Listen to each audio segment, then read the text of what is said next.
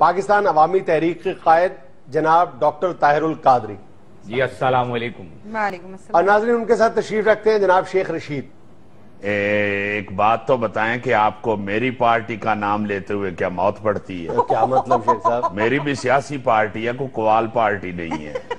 या रोज़े जगाने वाली पार्टी नहीं है अल्लाह ताला के फजलो करम से मुल्क की एक बड़ी पार्टी है मेरी। आ, क्या नाम था शेख साहब? आपकी पार्टी का हाँ नहीं नाम है। अवामी मुस्लिम लीग। जी अवामी मुस्लिम लीग। असल में आप मारूफ और मकबूल ही इतने हैं कि सियासी जमात का हवाला देने की ज़रूरत ही नहीं है। सुहा और कटा मकबूल और मारूफ हूँ। आपने नाम तो मेरा इस तरह लिया है जैसे मैं कोई मल्ले का काउंसलर साथ आया हूँ। ठीक है ये कादरी साहब और इमरान खान साहब इस वक्त बड़े मोहतरम है हमारे लिए। बल्कि कार आमद भी इस वक्त यही है मगर ये न करें कि हम बिल्कुल इजी हमें ले लें। हमें भी उतनी अहमियत दें जितने अल्लाह के फजल से अहम हम हैं। हाँ सानू जानजी चे छुआरे वंडन वाला भाई ना ना समझो। शेख साहब वैसे तो आप छुआरे ही रहे। कभी इनके कान में कभी खान साहब के कान में। मैं माफ़ी चाहता हूँ आप माशाल्लाह दानिश्वर हैं और सीनियर जर्नलिस्ट हैं। कभी कानों में भी छुआरे बांटे जाते। हैं हाँ कानों में मशवरे दे रहे हैं और मशवरा देना सदका जारिया है इसमें को मेरा ख्याल है। कोई शर्मिंदगी वाली बात नहीं है कोई ऐसी छुपाने वाली बात नहीं है। हम सियासतदान हैं और अपने दूसरे सियासी भाइयों को मशवरा देते रहते हैं। हम तो हुक्मरानों को भी मशवरा देते रहे हैं अल्लाह के फजल से। अच्छा अच्छा ये तो- मौजूदा हुक्मरान भी आपसे मशवरा लेते हैं? ये हुई तो रौला है जुनैद साहब। ये मशवरा लेते होते तो ये भाई साहब कैनेडा से आते। शेख साहब अब मशवरे वाली बात नहीं है बात बहुत आगे निकल चुकी है। जुनेद साहब मैं आपका बहुत मशकूर हूँ। कि आपने हम मजलूमों लाचारों दुखियारों गम डॉक्टर के मारों- साहब डॉक्टर साहब ਇਹਨਾਂ ਵੀ ਨਹੀਂ ਢਿੱਲਾ ਪੈਣਾ ਕਿ सियासतदान ਦੀ बजाय फकीर लगन लग पो इंटरव्यू देने आए हैं यहाँ से हमको कुर्बानी की खाले नहीं लेने आए मीडिया पर मैं आकर बैठा हूँ और मैं इनकी बात को वो बताना चाह रहा हूँ। शेख साहब आप मेरी बात को काटिए ना। मैं जिस बात की तरफ़ जाना चाहता हूँ आप उस बात की तरफ़ देखें कि मैं वही पेश करूँगा जो आपके अंदर ख्वाहिशात हैं। मैं वही इनके साथ बात करूँगा। आप ये मत सोचें कि मैं ढीला पड़ गया हूँ। मैं ढीला नहीं पड़ा हूँ। मैं थक गया हूँ क्योंकि आज 25 दिन हो गए हैं। मुसलसल मुझे बोलते हुए और कॉन्फ्रेंस करते हुए। डॉक्टर साहब 25 दिन नहीं आपको एक महीना और छह दिन हो गए हैं। बंदे अपने वध दसी जाते हो दिन अपने घट दसी जाते हो। शेख साहब दिन में इसलिए कम कर रहा हूँ कि तनख्वाहें देनी है बंदों को। आप मेरी बात को समझ नहीं रहे हैं। हेलो ये दोवें आप ही होली होली खुली जान रहे और जनाब सियासत से काम लें इस तरह की बात आप इंटरव्यू में मत कहें। हूँ। मैं तानू की की दसा मैनू दसो शेख साहब हम सच्चाई का दामन नहीं छोड़ना चाहते। हम गवाह बनाना चाहते हैं उन लोगों को जो हमारे साथ हैं। बात निकल जाती है मुँह से। कहने का मतलब वो नहीं होता। जो आप समझ रहे हैं। मीडिया तो बात को उछालता है। मेरे मुँह से कोई बात अगर निकल गई है तो समझे वो थकावट की वजह से निकली है। डॉक्टर साहब ज़्यादा थक गए हैं तो कंटेनर में कोई मालशिया रख लें। इस तरह की बातें तो ना करें कि आखिर पे वो लतीफा सुनाना पड़ जाए कि मैंने थका किन्ने दिता। सी? ये क्या लतीफा है शेख साहब? वो एक सरदार कश्ती में बैठा हुआ था ना जी और बहुत से लोग थे। अच्छा। तो कश्ती में से एक बच्चा जो है वो दरिया में गिर गया। ओहो। तो पीछे सरदार साहब भी गए। हम्म। बच्चा उठा के ले आए वापस कश्ती में चढ़ गए। अच्छा।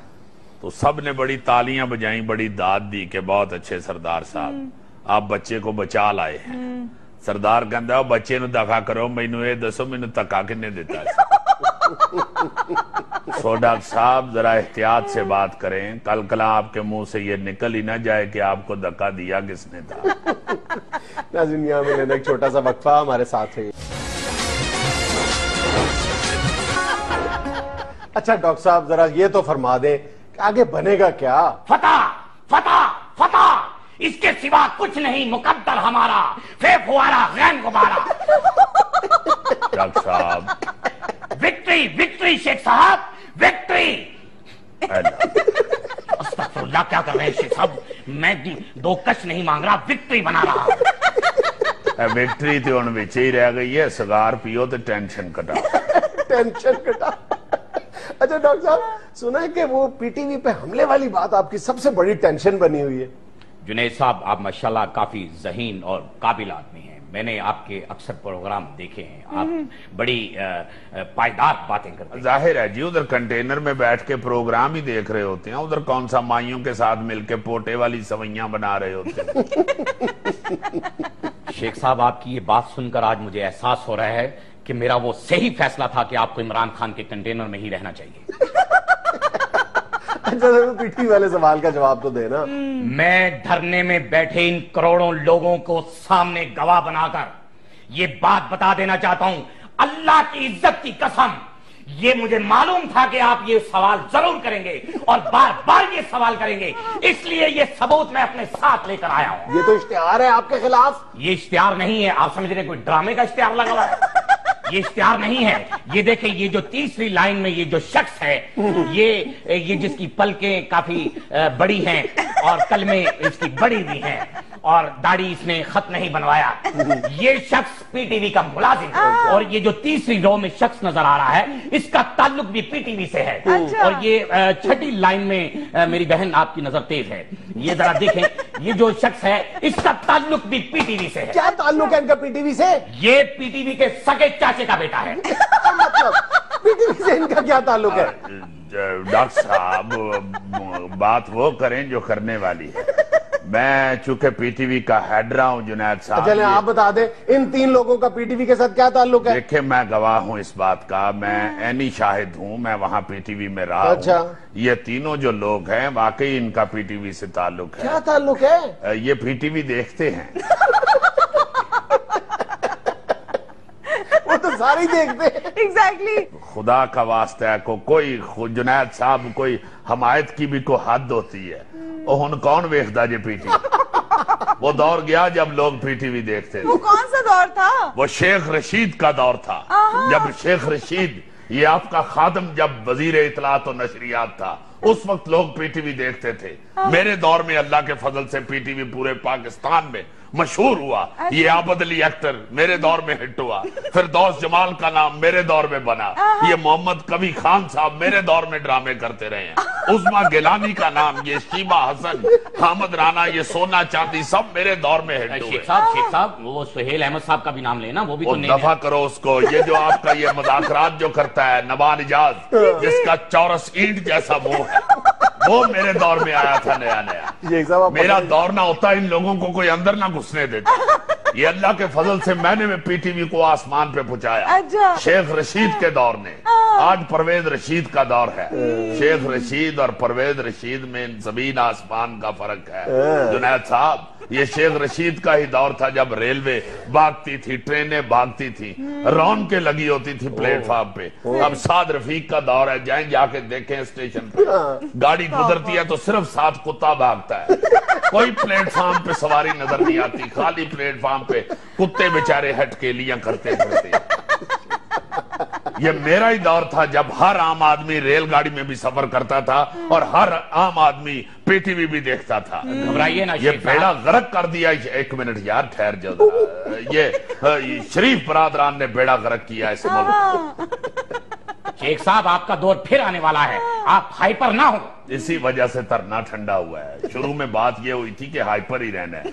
आप लोग ढीले पड़े हैं तो ये धरना भी ढीला पड़ा। हाइपर ही रहना है खुदा के वास्ते जहाँ भी जाएँ इंटरव्यू हो या धरना हो कोई तकरीर हो कोई बात कर रहे हो कहीं तो हाइपर ही रहना है। तो तवज्जो मेरी तरफ़ रहनी चाहिए। घड़ियाँ देख लें। टाइम आ चुका है। बहुत अच्छे। वो वक्त आ गया है जो जिस वक्त का हमें इंतज़ार था। अब अब अब वो टाइम नहीं रहा कि कौम कौम सो जाए। जाग जाओ मेरे जशीले नौजवानों। शरीफ बरादरान की भी गल करो। ये शरीफ बरादरान जो कुछ मर्ज़ी कर ले लेकिन इनको जाना ही होगा। मैं कह रहा हूँ पार्लियामेंट की दीवारों खिड़कियों दरवाजों गवाह बन जाओ। बहुत अच्छे बहुत अच्छे। इतना हाइपर काफ़ी है शेख साहब। ज़ाहिर है इससे ज़्यादा तो फिर कानों में से धुआँ निकलना शुरू हो जाएगा हाँ याद आया कि धुएँ तो निकलेंगे। ज़ाहिर है आग तो लगेगी। शेख साहब बस बस डॉक्टर साहब बस प्लीज़ नाजरीन ये था आज का